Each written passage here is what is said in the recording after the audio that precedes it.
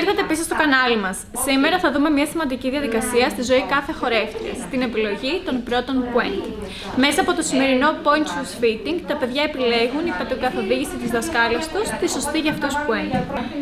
Εκείνη εξαρτάται από διάφορους παράγοντες. Την καμάρα, το μήκος των δακτύλων, το φάρδος του κάθε ποδιού, καθώς και τις ιδιαιτερότητες που παρατηρούμε στο πόδι κάθε παιδιού. Πάμε λοιπόν να διαλέξουμε τις κατάλληλες point για κάθε παιδί ανάλογα με τις δυνατότητες του κάθε ποδιού.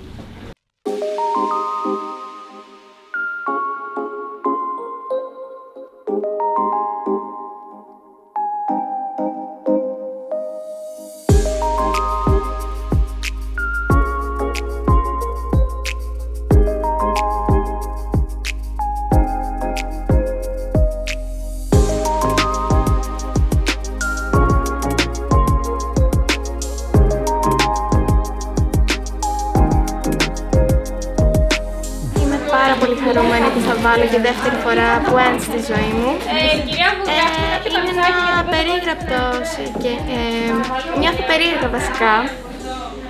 Ε, τώρα περιμένουμε πότε θα μας πούν, πότε θα μας φωνάξουν για να βάλουμε. Αυτά, περιμένουμε.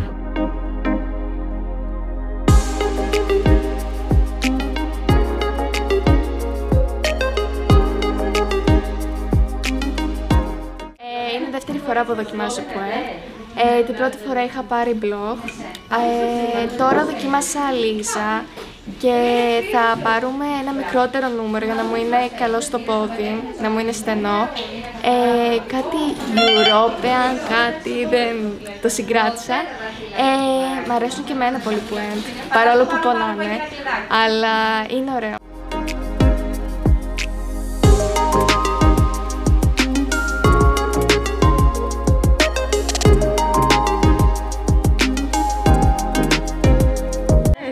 Δεύτερη φορά που κάνουμε fitting. Ναι.